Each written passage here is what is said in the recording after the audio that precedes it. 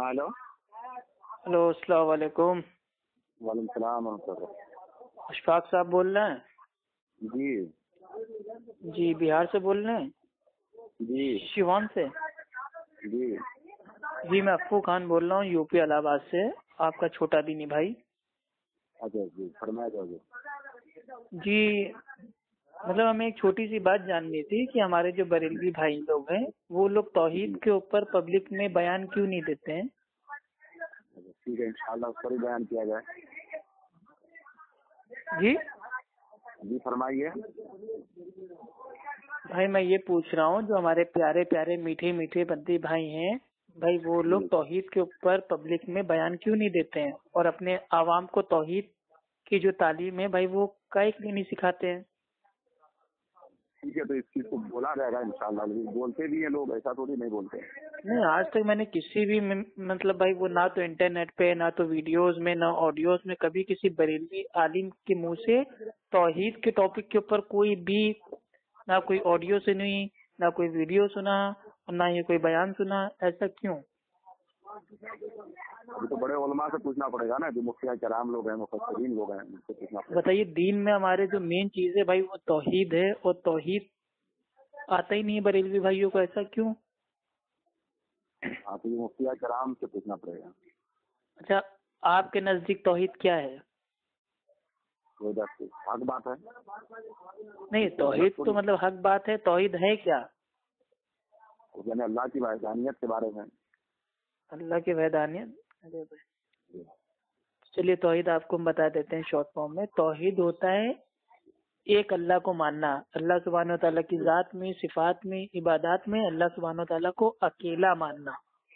जी उनको किसी चीज़ की शरीक नहीं हाँ तो ये तौहीद है। लेकिन हमारे बरेलवी भाई लोग अल्लाह की जात में इबादत में सिफात में अल्लाह के अलावा भी लोगों को भाई वो लोग शरीक कर देते हैं। और ये शिरक है।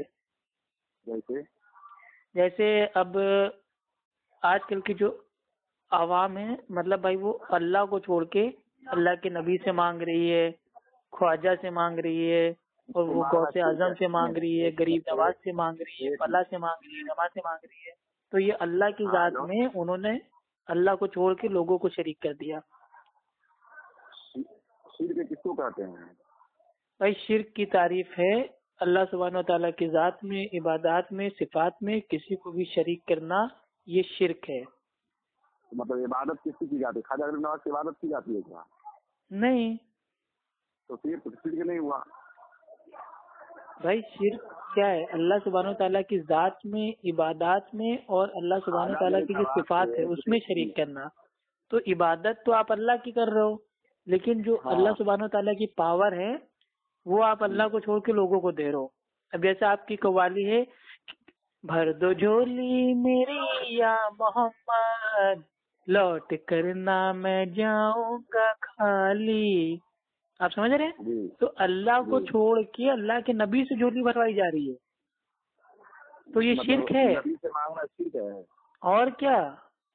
नहीं नहीं नहीं। अल्लाह अरे के अल्लाह के नबी से मांगना तौहीद है। हाँ। दे मेरे भाई। ये ये आप नमाज़ पढ़ते हैं शेख की नहीं? जी नमाज़ जी नमाज़ में आप अगर अगर आप पढ़ते हैं तो उसमें सूर्य फातिया पढ़ते होंगे।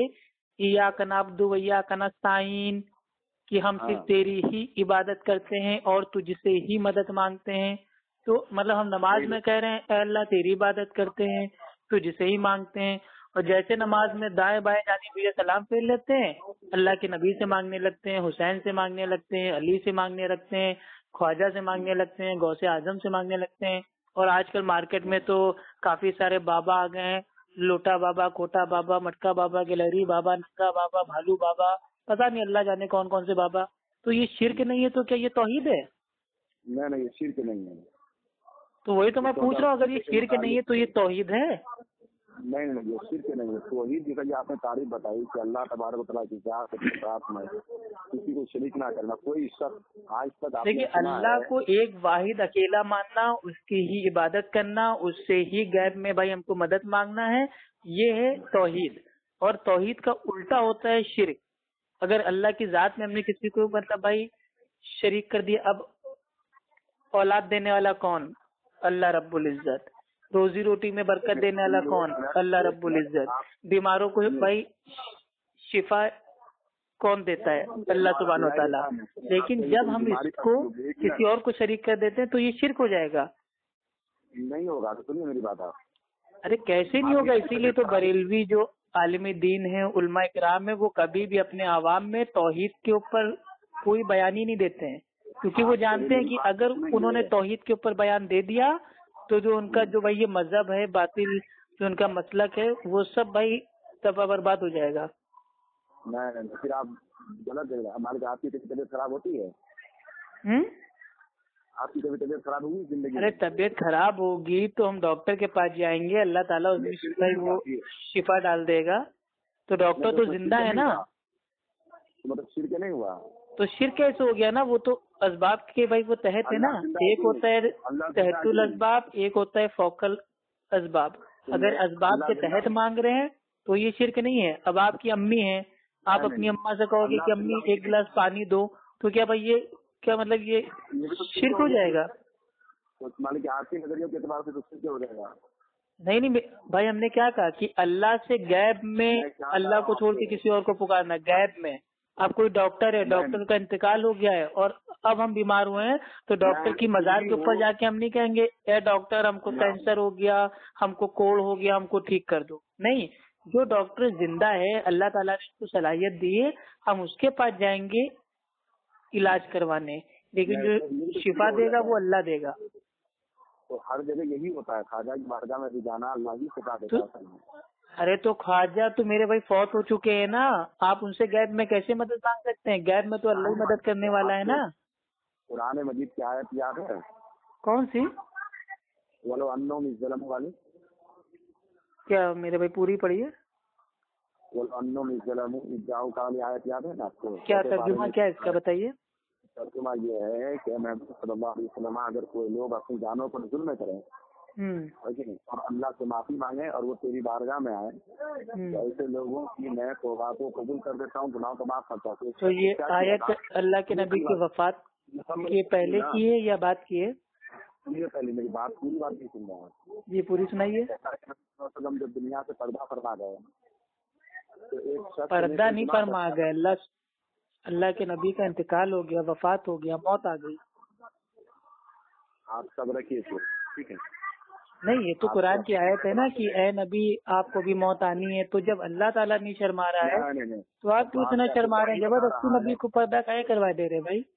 नहीं नहीं आपका किताब बता रहा है कि किसी और अकीदे से आप ताल्लुक रखते हैं। नहीं हमारा जो अकीदा भाई वो साहबा का है। साहबा को ये मालूम था। नहीं है साहबा उमर रज़ी अल्लाह को जब पता चला कि अल्लाह के नबी का इंतकाल हो गया है तो वो भाई रोड के ऊपर एकदम तलवार को लेके निकल गए और कहा कि जो शख्स ये कहेगा कि नबी का इंतकाल हो गया है नबी मर गए मैं उसकी गर्दन काट दूँगा।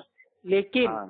अबू बकर रज़ी अल्लाह अन्हु ने कुरान की आयतें पढ़ी और एक खुतबा दिया कि जो लोग अल्लाह की इबादत करते हैं ये जान